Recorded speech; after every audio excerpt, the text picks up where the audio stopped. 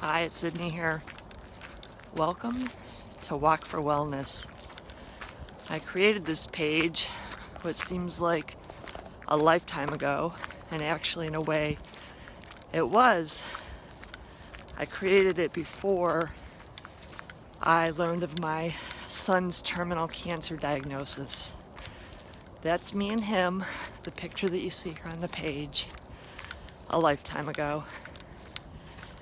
It's been a while since I've kept this page active as life has happened. I took care of my son. He passed. I remember while he was sick saying I'd give anything to be able to get up and walk my new puppy.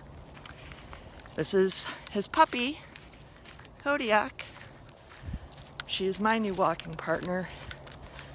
And now as putting the pieces of life back together, after losing someone near and dear to my heart, walking for wellness is an integral part of that plan for me. So whatever it is for you, walking for wellness is a great way to begin the healing and the health journey for anyone. It doesn't matter how many steps, and almost anyone can do it. So be grateful that you can get up, take a few, the next day take a few more, and see where it leads you.